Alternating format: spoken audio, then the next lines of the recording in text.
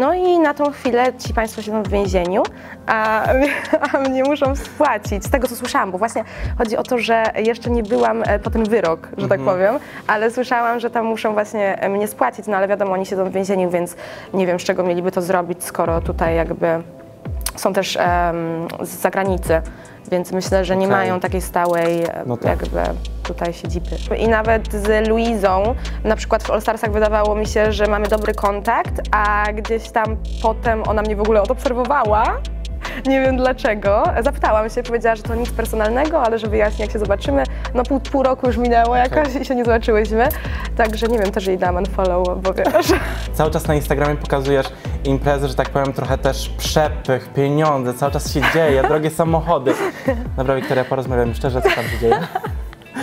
No właśnie, e, jest tak, że zauważyłam niektóre komentarze pod moimi postami, że niektórzy ludzie myślą, że jestem po prostu jakąś panią do towarzystwa, co zupełnie nie jest prawdą. Naprawdę to nie jest prawda, jestem daleko od tego i zawsze byłam przeciwna. E, kupiłam sobie nowe czerwone majtki i założyłam je, założyłam je w sylwestrową noc. Okej, No no to to o tym nie słyszałem. Tak, jest taki podobno, jak to się mówi, zwyczaj? Tak, no, tak, taki zabobon. Tak. Nie wierzę w to do końca, ale zobaczmy, bo nigdy tego nie robiłam. Zawsze jestem taka właśnie, nie za bardzo wierzę w te różne przesądy, więc zobaczymy, czy to faktycznie działa. Ja też tam z takim tekstem wyleciałam, że jakiś ognisty ogier. No, No tak, no bo kurczę, był taki wysoki, muskularny, wiesz, robił wrażenie. Tak ci w oko? Yy, wiesz co? Mm, właśnie nie wiem do końca. Zjadłam nawet to błoto i w ogóle... Ja w ogóle się tak potem bałam, bo wiesz, to jest jakieś błoto takie, z, no wiesz, z ziemi, a tam są różne bakterie w ziemi, bo potem się pytałam tam takiego lekarza na miejscu e, i powiedział, że no tam dużo jest bakterii, więc się tak trochę bałam, szczerze mówiąc, że to do oka mi wpadło i tak dalej. Nazywam się Bartosz Seklecki, moim dzisiejszym gościem jest Wiktoria Kozar. Dzień Witam dobry. wszystkich, dzień dobry, cześć. No właśnie, zacznijmy może tak naprawdę od tych początków, z których możemy Cię kojarzyć, czyli tak naprawdę od hotelu Paradise, zarówno piątej edycji, jak i All Starsów. No właśnie, piąta edycja była już hu hu hu. No dwa lata Spo- temu no prawie. właśnie. właśnie. ja się aż dziwię, że ten czas tak leci. Nie. No. Myślałam, że to było w tamtym roku, dosłownie. A w tamtym roku były All Starsy. Tak, no już tyle mam tych TV shows na końcu, że wiesz. E, no to pytanie, jak to wszystko wygląda po piątej edycji? Czy z kimkolwiek masz kontakt? No wygląda to tak, że te kontakty troszeczkę się pourywały, a jednak z niektórymi uczestnikami nadal trzymam kontakt. Taką najbliższą mi osobą powiedziałabym, że pewnie jest Oliwka. Em, I z Elizą też gdzieś tam ten kontakt jest nadal, tyle że Eliza dużo też wyjeżdża, wiadomo. A jednak Oliwka jest cały czas tutaj na miejscu w Warszawie, więc jak ja przylatuję z Londynu, to często się widzimy. Gdzieś tam z Kubą też jest ten kontakt, bo wiadomo, oni byli razem, no i ogólnie. I chyba bym powiedziała, że to na tyle. Czasem z Dominiką, no bo też byłyśmy w tych All Starsach, ale to jest tak, że tylko piszemy, bo Dominika też mieszka w Bydgoszczy, nie, przepraszam, w Szczecinie, a to jest dobry kawałek No drogi. jest sporo. Raz byłam na jej urodzinach i już myślałam, że chyba nigdy nie pojadę do Szczecina. No to najważniejsze pytanie.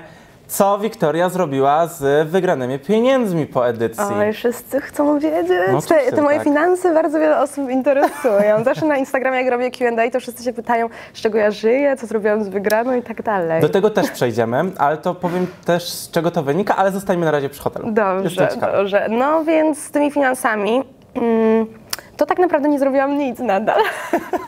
ja wiem, że to brzmi śmiesznie, ale część sobie jakby tak em, schowałam, tak? E, I nadal to trzymam. Część próbowałam rozmnożyć i zainwestować tam w te moje e, w ten projekt, który zaczęłam w tamtym roku, to były takie planery motywacyjne dla kobiet, Em, a część po prostu gdzieś tam uleciała z wiatrem.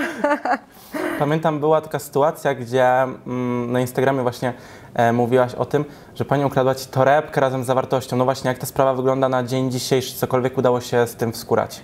Tak, no to było dla mnie niesamowite przeżycie. Niektórzy myśleli, że przesadzam, bo tam widziałam dużo było takich komentarzy e, niepochlebnych.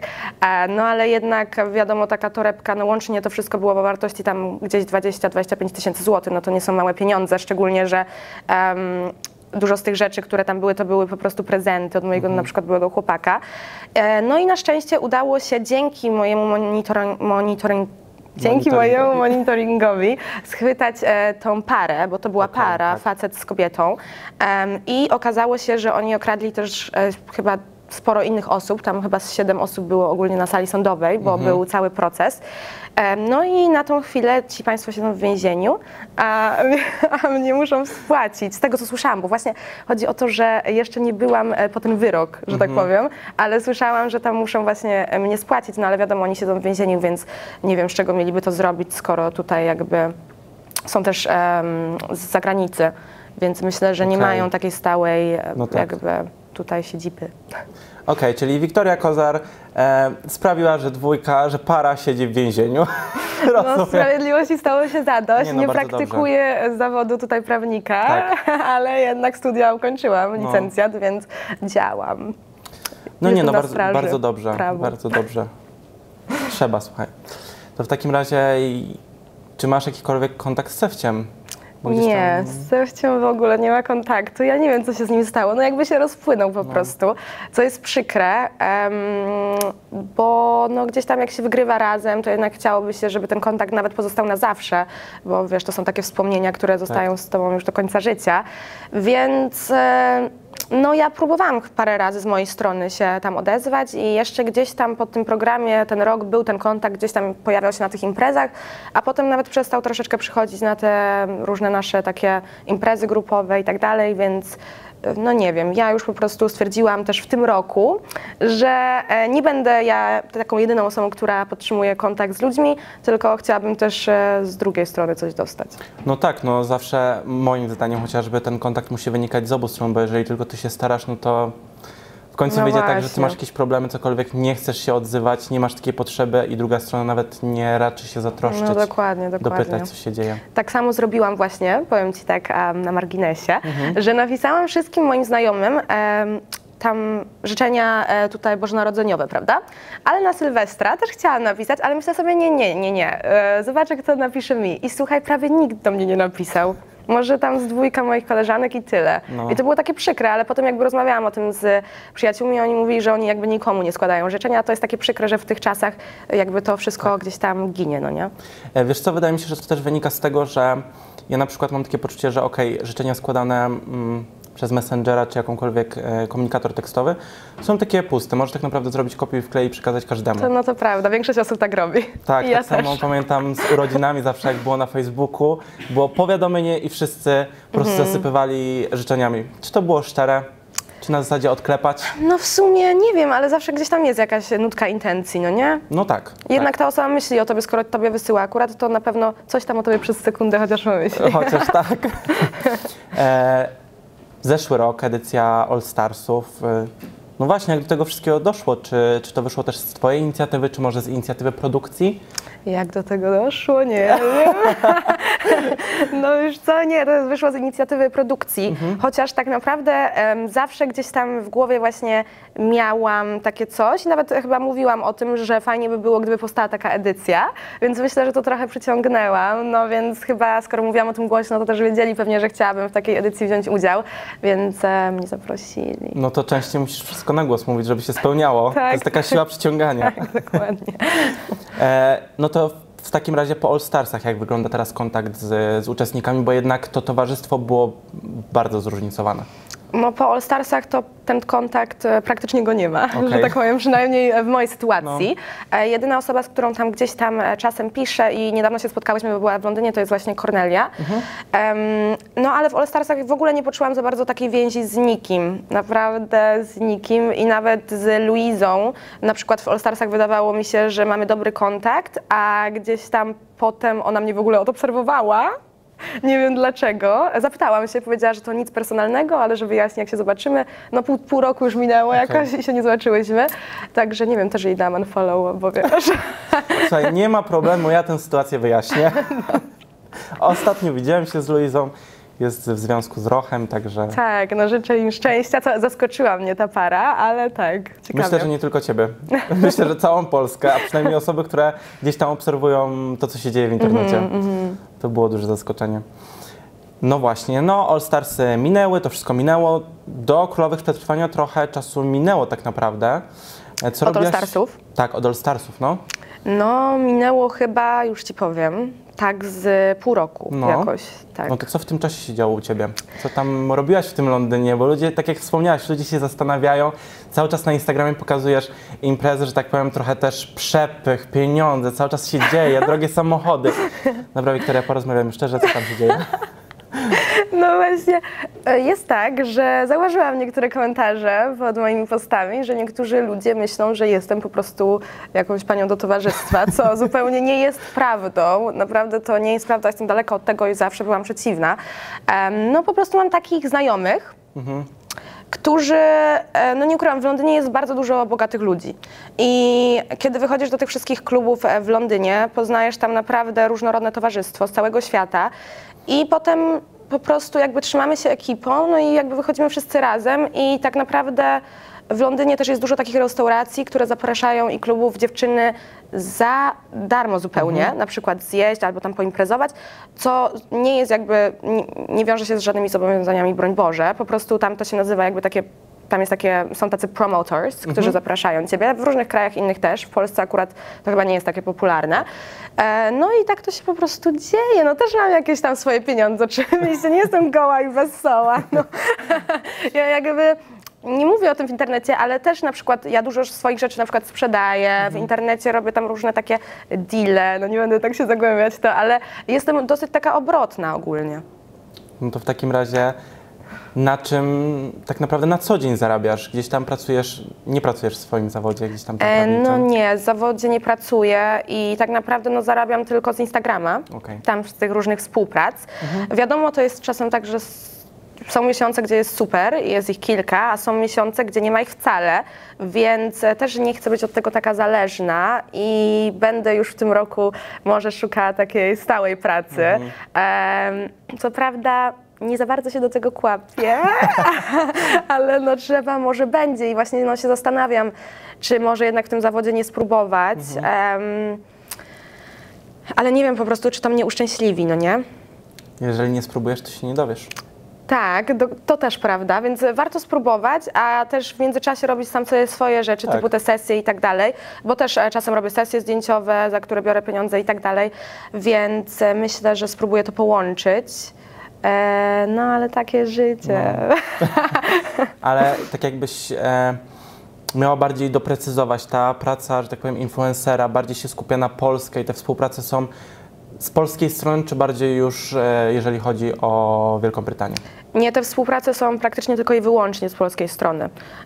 Są tam, były jakieś współprace z zagranicznymi firmami, ale to bardziej tak z Niemiec, jakieś tam, a nie z, z Anglii nie. I właśnie ja bym chciała troszeczkę rozszerzyć tam swoje działania na angielski też rynek, co nie jest e, do końca takie łatwe, bo przed, e, przed Hotelem Paradise miałam inny profil, na którym miałam tam, no też jakoś tak z 40 tysięcy obserwujących, teraz tam chyba jest 50 coś, ale nie używam go w ogóle.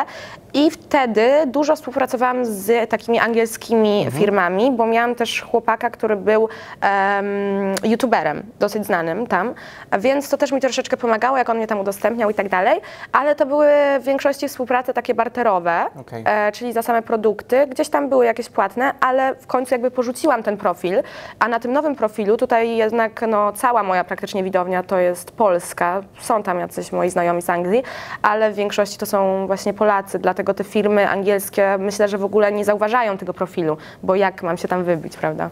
No tak, z drugiej strony też e, z tego, co obserwuję, co, co widzę, no to twój content głównie jest prowadzony też po polsku, do, tych, do tego polskiego odbiorcy. Tak, ja właśnie się zastanawiałam, żeby to jakoś połączyć ze sobą, ale kurczę, czasem człowiekowi się po prostu nie chce dodawać na przykład story i pisać taki długi tekst w języku polskim i to samo w języku angielskim. I też się zastanawiasz, jaki tak naprawdę jest procent tej publiczności angielskiej, który tak faktycznie będzie chciał czytać, chociaż moi znajomi często mi mówią, że Wiki, wstawiasz story, a my nic nie rozumiemy, no nie, z twoich polskich stories. To się da wszystko łatwo rozwiązać. Tak, a powiedz jak? Później ci powiem.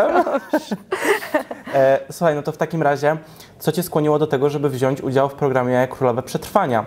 Bo tak jak mówisz, no wiem, że tutaj też, e, tak jak oglądałem, e, Edyta tutaj jasno podkreśliła, że jest na przykład jedynym żywicielem rodziny, no i gdzieś tam e, jest potrzeba tej ciągłej pracy. Co było u ciebie takim impulsem, że Impulsem u mnie w sumie było to, że ja po prostu lubię te programy telewizyjne. I ja tak siedziałam sobie w łóżku i nagle zobaczyłam maila, I mówię, o kurde, no nie, tak jakby to spłynę, tak no, znowu to przyciągałam, ja naprawdę przyciągam te wszystkie rzeczy, a jeszcze chcę Ci w międzyczasie, przepraszam, wspomnieć, że właśnie e, w tym czasie pomiędzy All Starsami Mhm. i tą królową, to też nagrałam jedną swoją piosenkę. Tak, Tak. tak. Ale to, to, to o tym jeszcze porozmawiam. Spokojnie, spokojnie. No. Dobrze, muszę się trochę uspokoić, ta kawka tak na mnie zadziałała, wiesz? Energii dostałaś. Tak. No i em, siedzę tak sobie w tym łóżku i przychodzi ten e-mail tak z nienacka, no nie, bo właśnie wtedy miałam taki okres w życiu takiej stagnacji trochę, że się zastanawiałam, co dalej, że kurde, właśnie rok się kończy i mam gdzieś tam cały czas takie marzenie, żeby gdzieś tam poprowadzić kiedyś program jakiś telewizyjny, Okej. e, więc chciałabym w sumie w tą telewizję tak trochę pójść, ale wiesz, jak to jest... em, te propozycje, one właśnie się tak pro, po, pojawiają z nienacka i ciężko jest się wkręcić tak gdzieś tam, żeby prowadzić jakiś program. To naprawdę nieliczni dostają takie propozycje. Em, I trudno coś w ogóle w tym kierunku zadziałać. Po prostu musisz czekać, aż ktoś się do ciebie odezwie, Tak. bo sam nie jesteś w stanie za wiele e, tutaj zrobić. Em, no i po prostu pojawił się ten program. Tak naprawdę miałam casting następnego dnia online jakby Okej, okej. i od razu jakby chcieli mnie, Mhm. więc ja mówię, że pewnie no. No dobra, no to przylatujesz do Tajlandii, spotykasz wszystkie uczestniczki i, i co myślisz? Bo No. ty chyba nie znalazłaś tam nikogo, z kim gdzieś tam ten kontakt wcześniej był. Właśnie praktycznie żadnej dziewczyny, No. chyba żadnej dziewczyny nawet w życiu na oczy nie widziałam z tamtych e, królowych przetrwania. E, więc jak się dowiedzieć, jak zobaczyłam tam dziewczyny z Warsaw Shore, to się troszeczkę, nie powiem, przestraszyłam, że tam one mogą być troszeczkę takie, e, wiesz, mocne, a ja jednak jestem taka bardziej delikatna. Em, ale okazało się, że wszystkie dziewczyny naprawdę były spoko i szczególnie właśnie te z Warsaw Shore, no po prostu one były tak śmieszne, że my się tam non-stop śmiałyśmy i nie przestawałyśmy się śmiać. No, tylko nie będę ukrywał, pewnie dużym hardcorem mimo wszystko był fakt, kiedy Izu powiedział, no dobra, no to odkładamy telefony i nie ma kontaktu z rzeczywistością. No wiesz, dla mnie to nie był za bardzo hardcore, bo jestem do tego przyzwyczajona. Jednak dwa miesiące prawie w hotelu Paradise No bez tak, telefonu. tak. No ja w ogóle, jak ja go odkładam, to ja w ogóle za nim nie tęsknię, naprawdę. Ja tam się czuję, jakbym była w innej rzeczywistości kompletnie i jakby moja taka rzeczywistość tutaj w kraju nie istniała, Mhm. wiesz, w ogóle. A więc dla mnie to jest nawet fajne i że ja, ja naprawdę, nawet jak załóżmy, że z kimś tam kręcę, powiedzmy, tak? Przed programem. Ja po prostu od razu o tej osobie zapominam, w ogóle o niej nie myślę. Jezu, to może niedobrze, że tak mówisz. A wiesz, a ja, no może nie, ale a faktycznie. A kurde, chciałam znaleźć chłopaka w tym roku. Powiedziałaś już, to się spełni. No się spełni, bo ja teraz dostałam tutaj taką bransoletkę z kamieniem. Tak. Słuchaj, zobacz. No I to jest kamień na miłość. E, jakiś tam e, kwarc różowy. Tak. I podobno ja słyszałam, że naprawdę z tymi kamieniami się spełnia. Założyłam ją wczoraj. I. Postanowienie noworoczne. No naprawdę, ja zrobiłam tyle kroków tego Sylwestra, żeby coś tutaj jednak ta miłość do mnie zapukała do drzwi. E, powiedzieć Co, ci, co co jeszcze masz na myśli?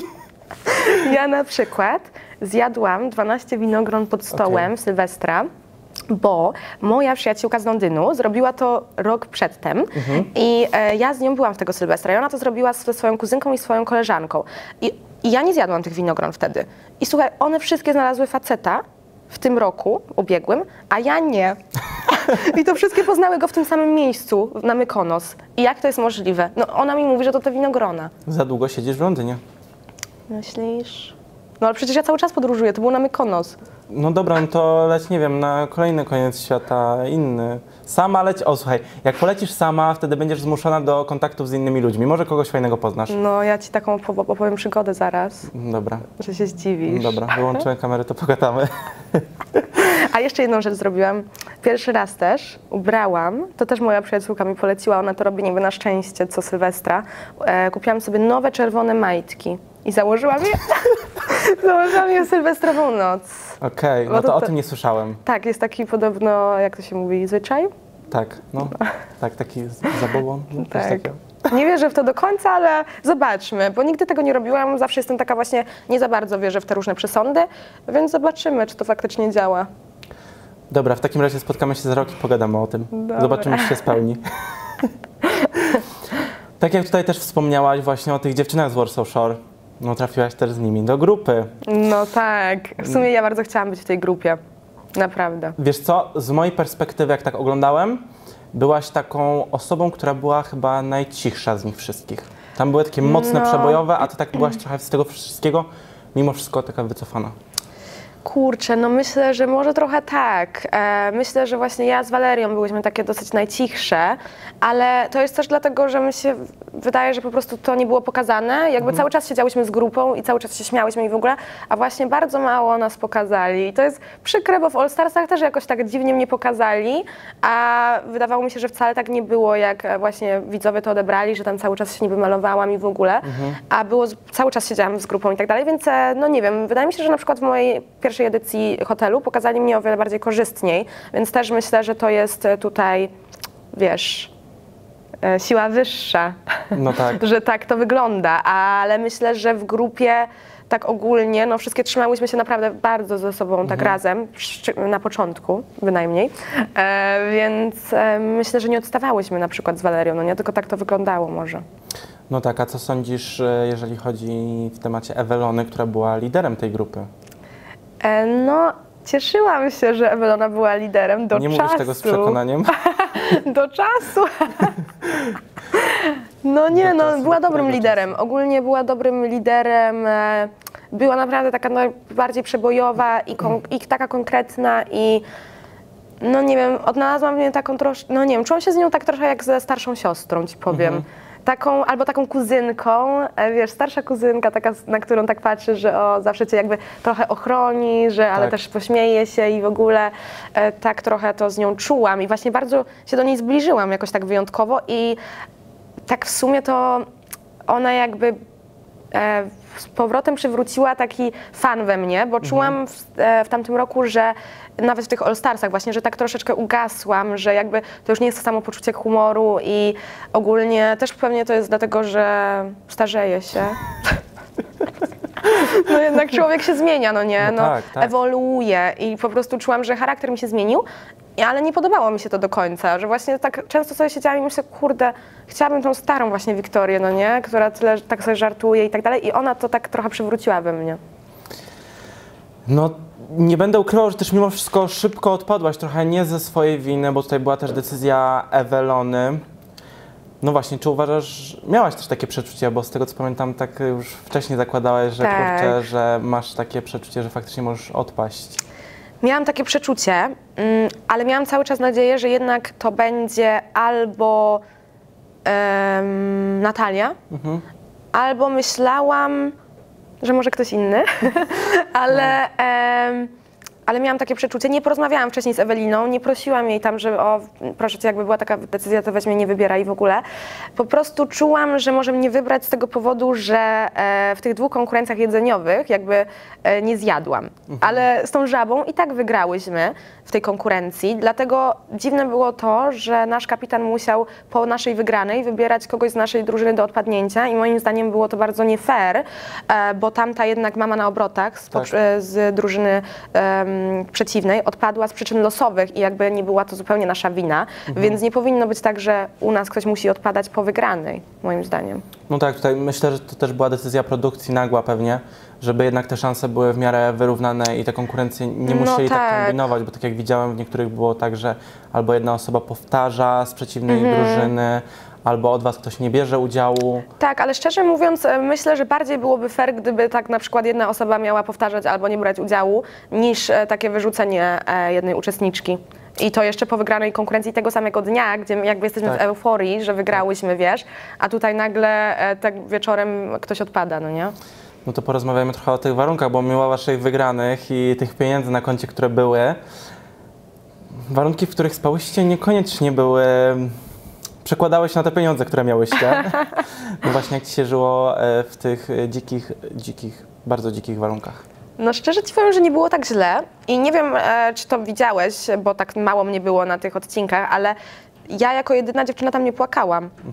Wszystkie na, dziewczyny z mojego obozu, ta pierwsza noc, nawet w tym luksusowym kampie, one Tak. normalnie płakały, krzyczały, a ja nic. I właśnie też mi dlatego było z tego powodu przykro, że ja jakby pokazałam trochę, że dobrze, nie zjadłam tam w tamtej konkurencji, bo mnie wybrały, żebym nie brała udziału, ale z drugiej strony byłam twarda, bo inne dziewczyny, wszystkie z mojej drużyny prawie, chyba oprócz Ewy, nie jestem pewna, e, mówiły, że chcą wracać do domu.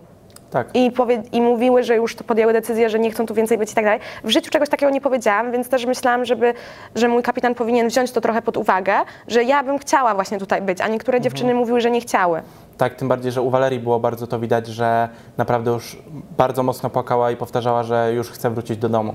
Tak, no właśnie e, dlatego myślę, że powinno może się wysłać dziewczyny, które chciały praktycznie wrócić do domu, bo może nie byłoby im tak przykro, a mi było przykro jednak, bo wiesz, pojechać na drugi koniec świata, le lecieliśmy 28 godzin z przesiadkami dwoma, naprawdę to było straszne. I, I odpaść tak szybko, no w ogóle nie zdążyłam się tego, tym nacieszyć i tak mi to strasznie szybko e, minęło, wiesz. No to w takim razie powiedz mi, wchodzi najbardziej kontrowersyjna osoba polskiego show biznesu, Natalia Janoszek i akurat do waszej drużyny. To jest najbardziej kontrowersy- kontrowersyjna osoba? No dobra, no w tym programie, która Okej. była, myślę, że wiem, kogo miałaś na myśli. A ja nie wiem, ja Nie to wiesz? Nie. Okej, no dobra, myślałem, że mówisz o mi- Derpińskim. A, okej, no. Ale okej. Nie no, Natalia Janoszek, która gdzieś tam mm, wrócić, przyszła tak naprawdę do tego programu, co było wielkim zaskoczeniem. Myślę, że nie tylko dla nas, e, osób oglądających, ale również dla Was. Gdzieś tam Ewa e, podkreślała, że nie chce mieć w drużynie osoby, której po prostu nie ufa. Że tego Tak. zaufania po prostu jej nie może dać. Jak to było z Twojej perspektywy? Z mojej perspektywy powiem Ci szczerze, ja widziałam tylko jeden, jedyny artykuł o niej wcześniej. E, troszeczkę go tam przeczytałam, bo właśnie nagle była taka drama o niej w ogóle i tak się zdziwiłam, kto to w ogóle jest. E, więc ja w sumie miałam to gdzieś. Nie obchodzi mnie, w sensie w ogóle ten polski show biznes, on mnie aż tak wcale nie obchodzi i ja nie jestem na bieżąco i nawet jeśli sobie coś tam zmyśliła, no to dużo osób teraz w tych czasach zmyśla, tak samo jak ta najbardziej kontrowersyjna osoba w polskim show biznesie teraz.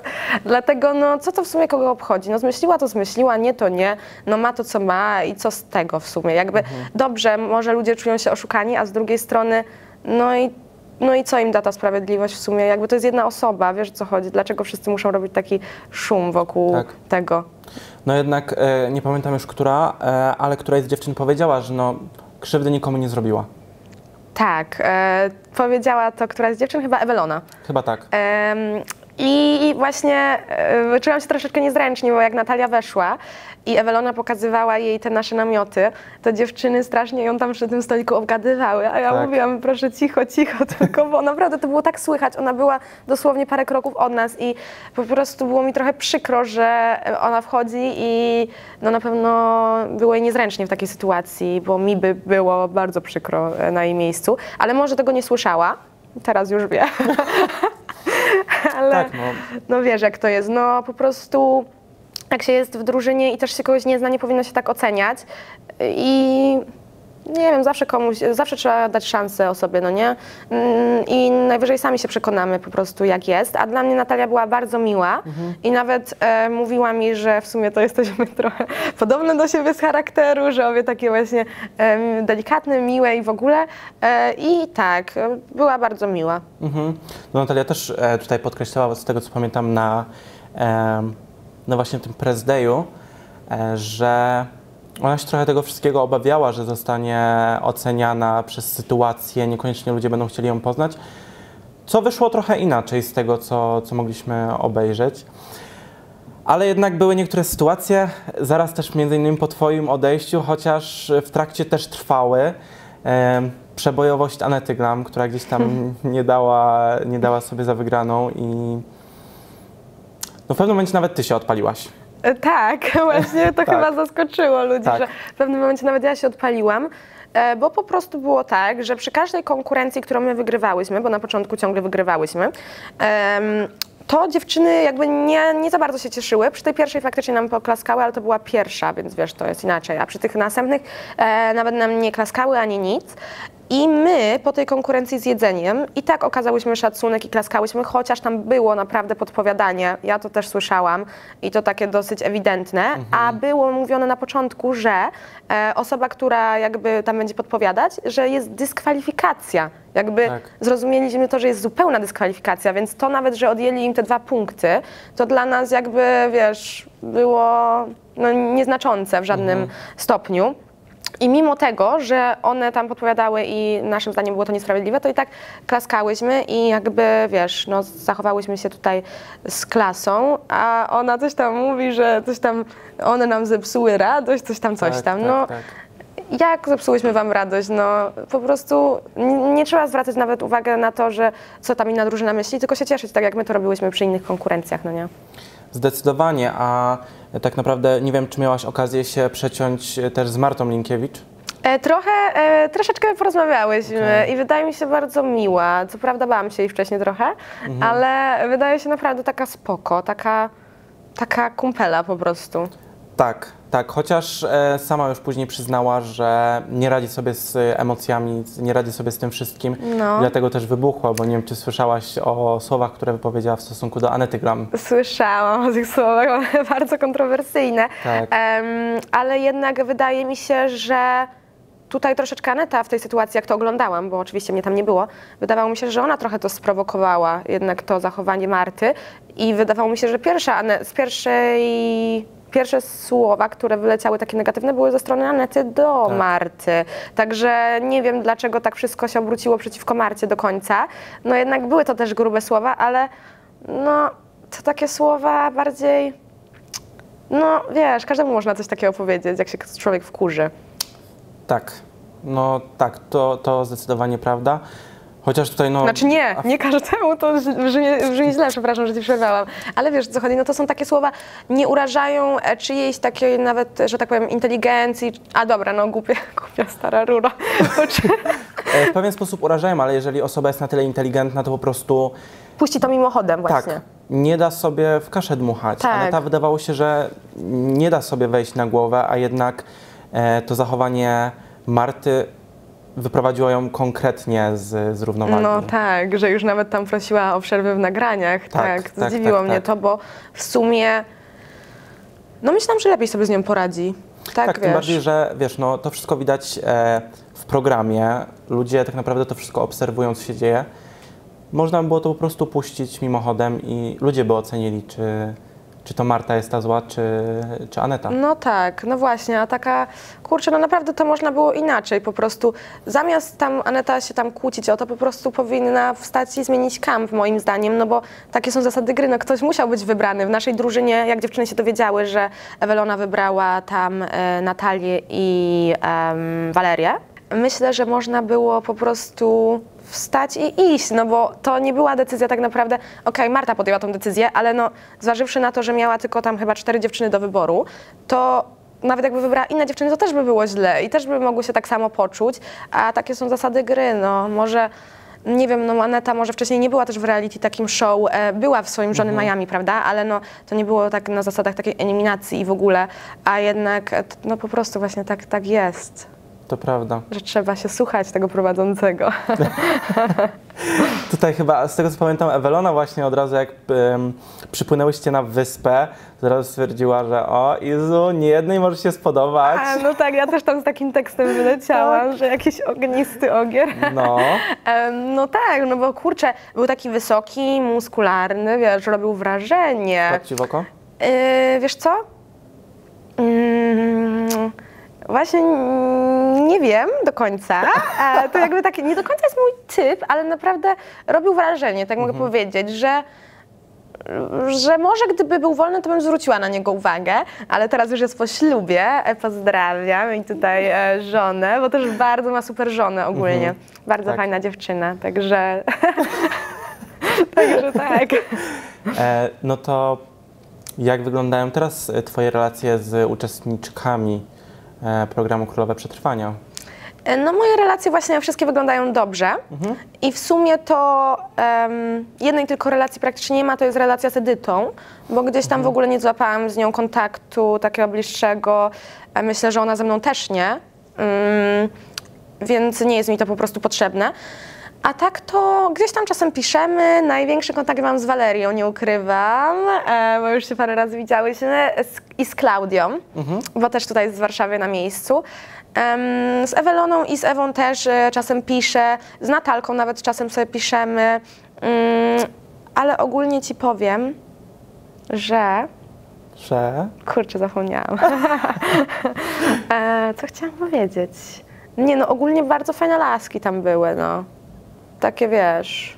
Zupełnie różne, ale mimo wszystko, jak dochodziło co do czego, jeżeli chodzi o budowanie się grupy i walka, to wszystkie szły równo, walczyło swoje. Tak, wszystkie walczyły i nawet Monika, która na początku się wydawała taka troszeczkę niepozorna, bo ona naprawdę tam mało mówiła, okazała się być taka fajna. Jak już się spotkałam z nią tutaj w Warszawie, to naprawdę e, tak.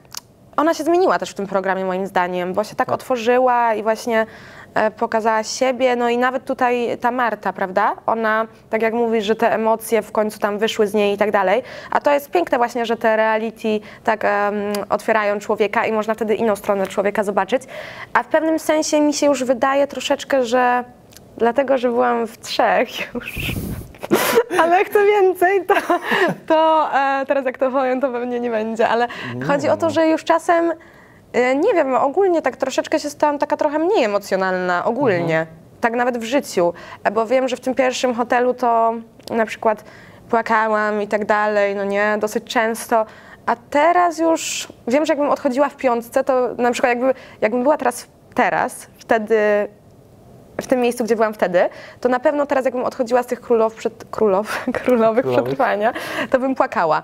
A w ogóle nie było że we mnie żadnych emocji takich. No było, Tak. było mi przykro, byłam taka no, zawiedziona, że tak szybko odpadłam, a z drugiej strony miałam takie w ogóle tego, no taka bez emocji się czułam zupełnie. Ale to w pewnym momencie widać było po tobie, że byłaś taka zdezorientowana, co się dzieje, nie wiedziałaś do końca, a później to już faktycznie tylko zdziwił mnie fakt, że mm, tak jak podkreśliłaś, że taka trochę obojętność ze strony dziewczyn, Tak, że ty no. odchodziłaś, a one tak już zajęły się sobą kompletnie. Tak, no to mi było przykro, chociaż e, słyszałam, że potem właśnie na przykład Klaudia bardzo często mnie wspominała i ciągle mówiła, że jej tak brakuje Wiktorii i tak dalej, ale jak odchodziłam, to właśnie, no w sumie Klaudia i chyba Ewa się rozpłakały nawet. E, to było takie, no wiesz, urocze, ale e, potem no jakoś tak szybko e, o tym zapomniały i ja jakby rozumiem, że to jest program i tam się szybko wszystko dzieje i te dziewczyny z naszej drużyny też przechodziły do innej drużyny, więc to też trochę było emocjonalne, ale nie aż tak jednak jak odpadnięcie kogoś moim zdaniem.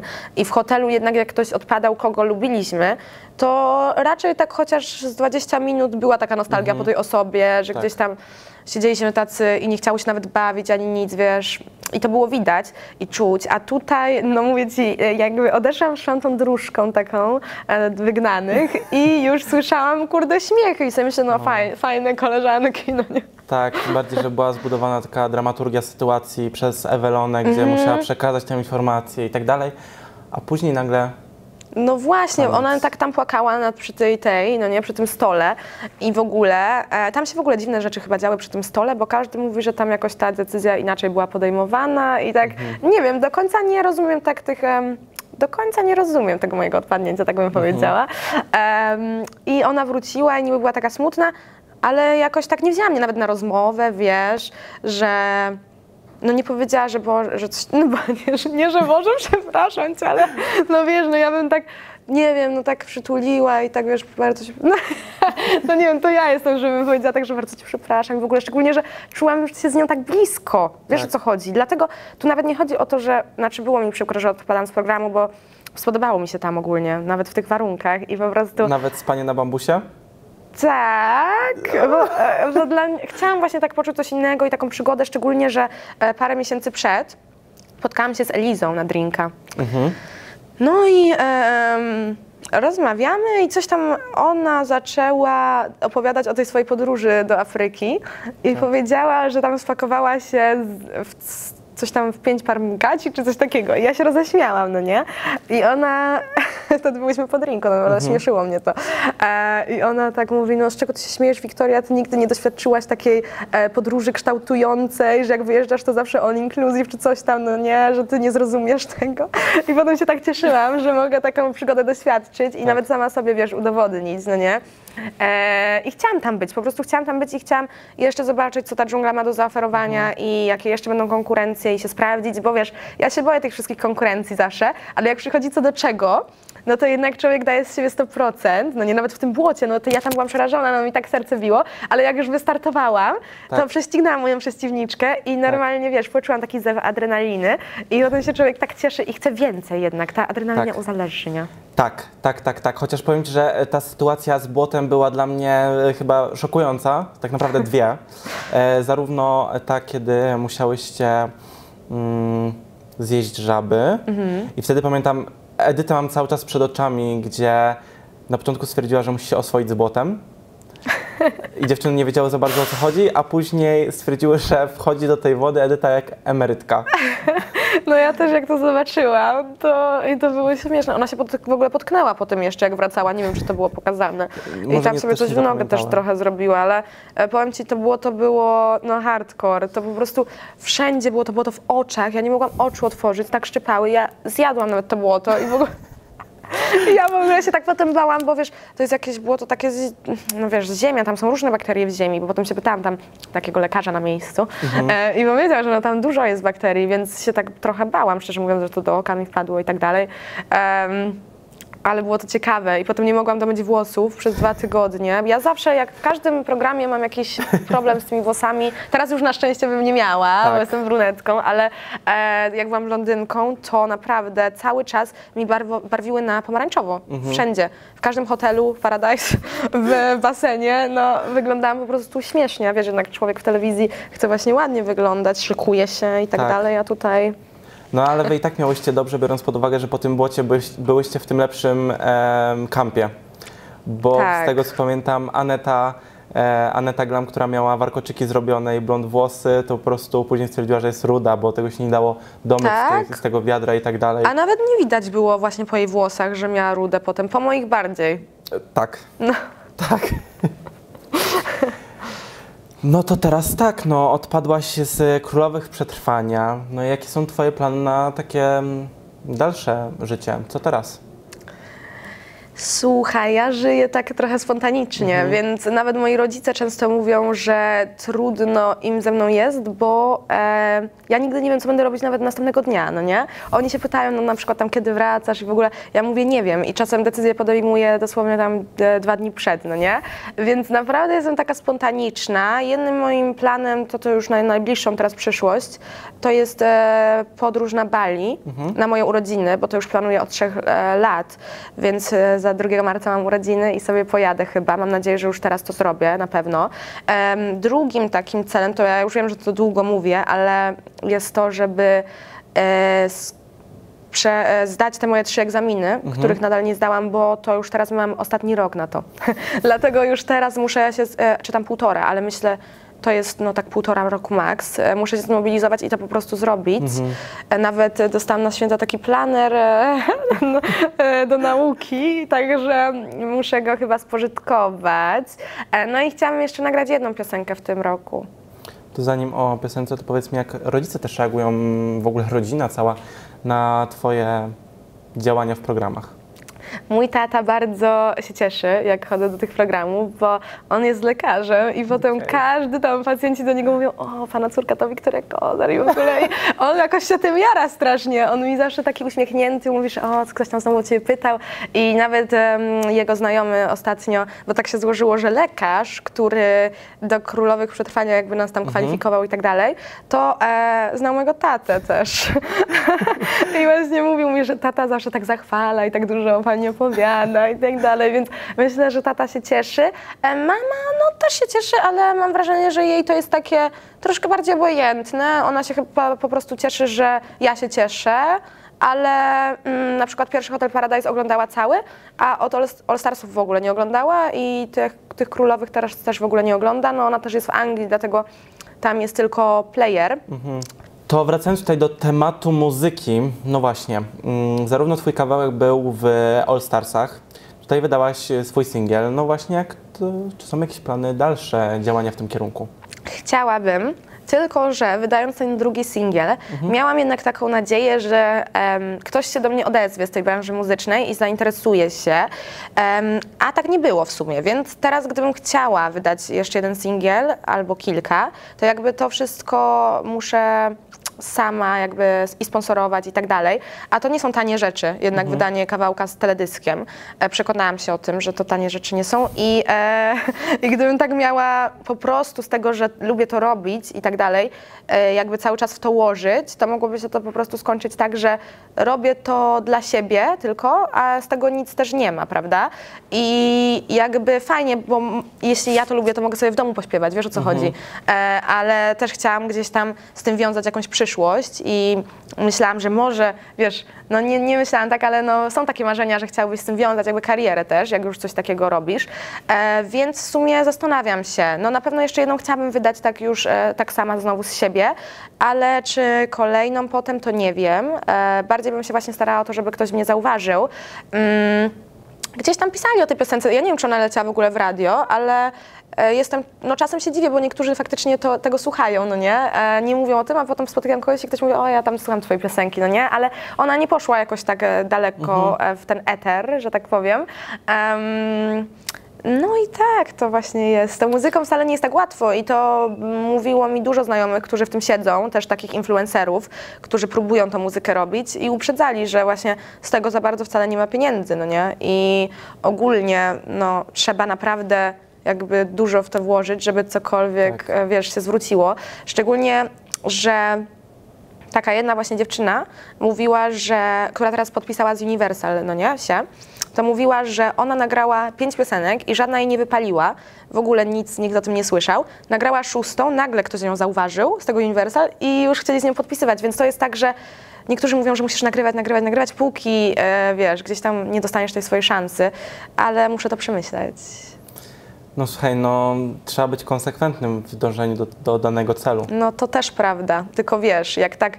E, tylko wiesz, jak tak na przykład wszystkie swoje pieniądze będziesz chciał, wiesz, w muzykę włożyć, a potem e, zostaniesz z ręką przysłowiową w nocniku. to też nie fajnie, no nie? No słuchaj, słyszałem, że masz odłożone pieniążki z piątej edycji hotelu. Kto tak Zawsze. powiedział?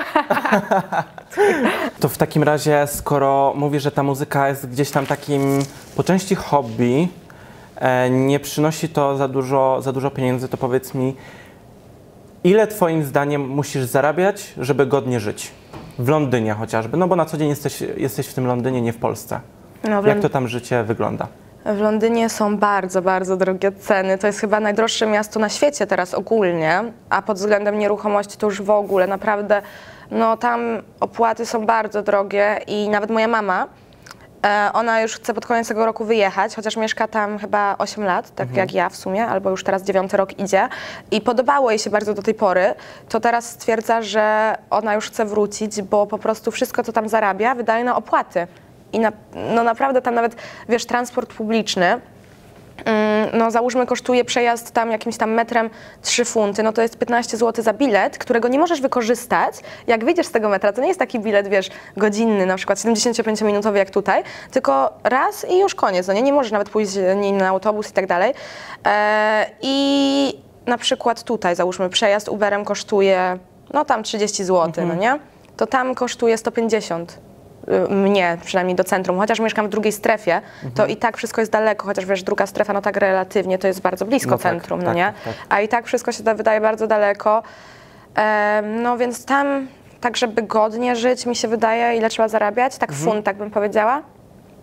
Tak, żeby fajnie sobie żyć, to tak trzeba zarabiać, no bym powiedziała, z 5 tysięcy funtów miesięcznie, no to by było tak z 25 tysięcy złotych Mhm. miesięcznie, no nie?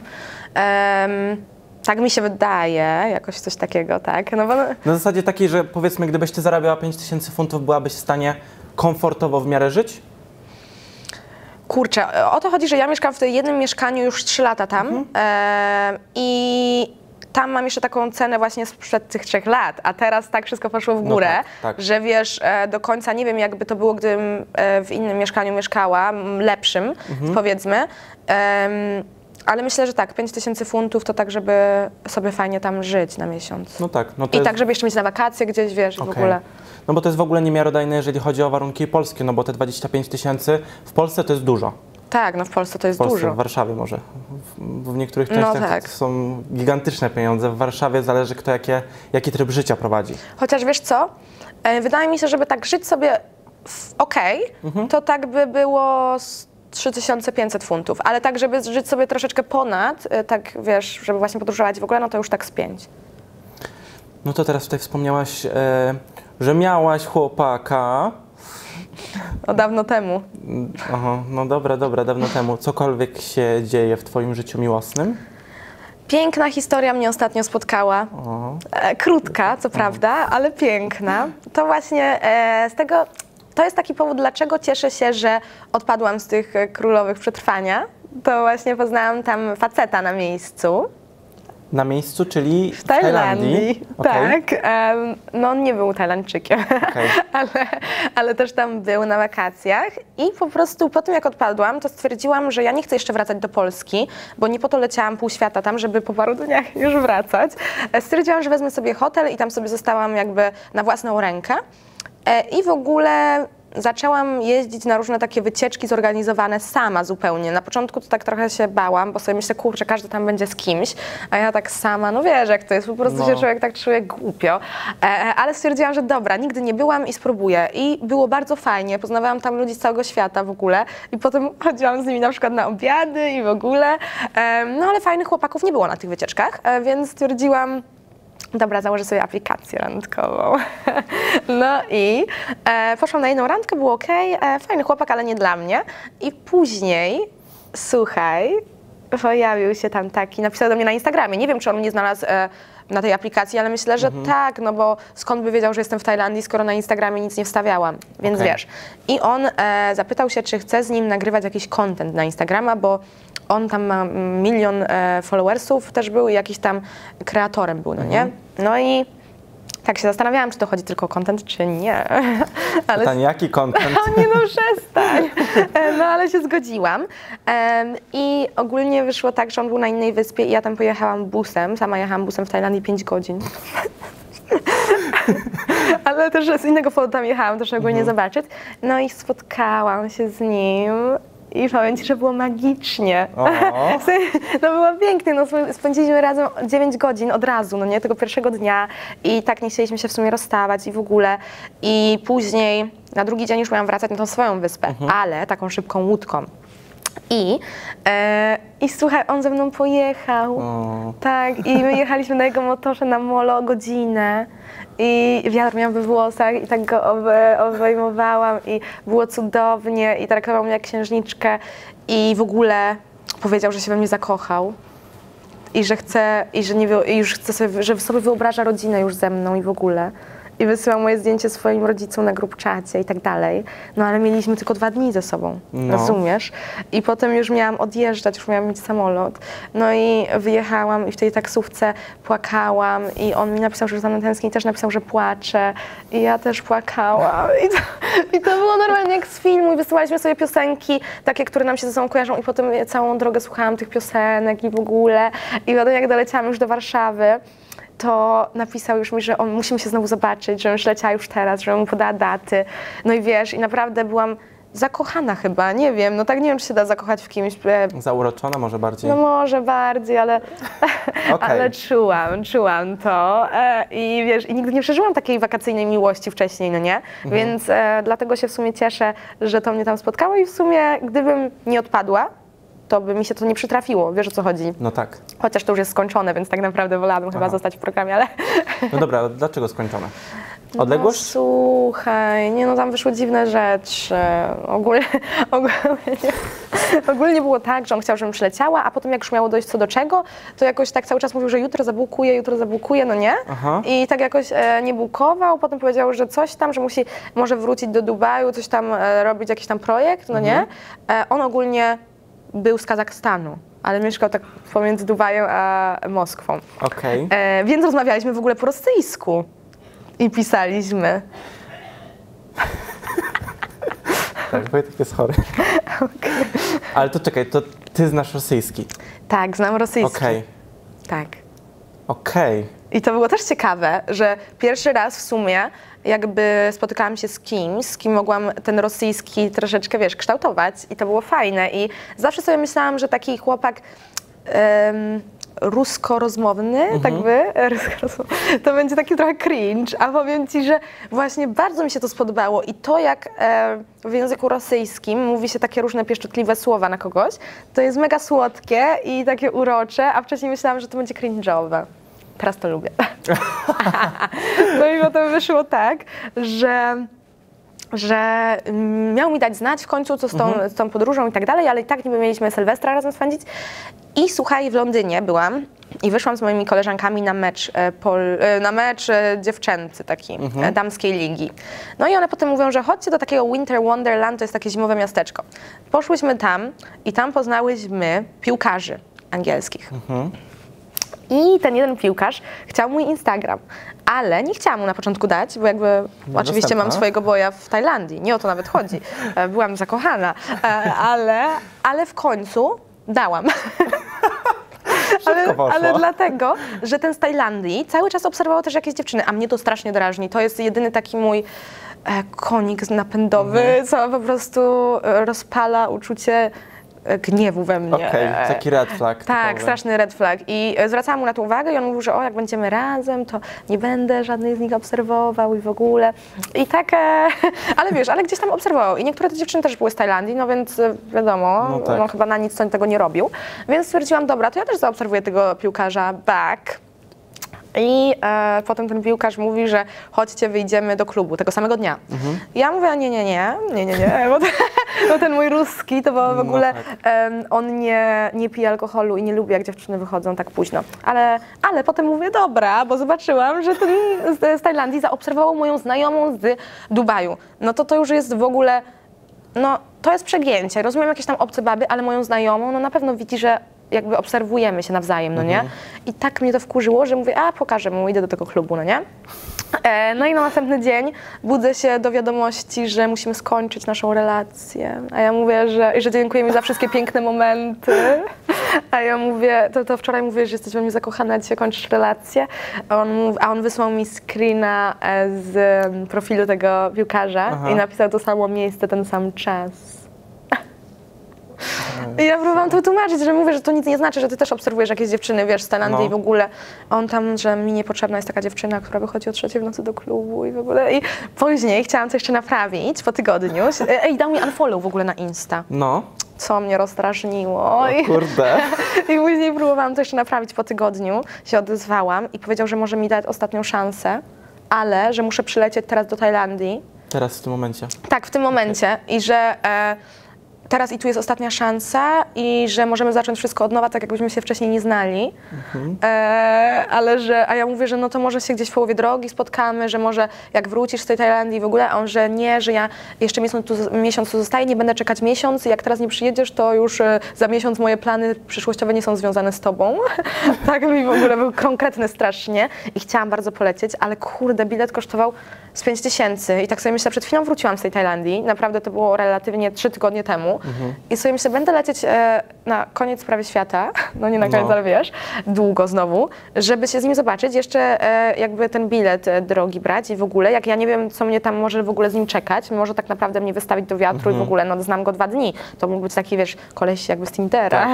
Mm, I, I powiedziałam mu, że kurde, no, że chciałabym, ale że te bilety są takie trochę drogie, że możemy albo w połowie drogi, albo coś tam, może co ty sugerujesz, że mam ci e, bilet opłacić?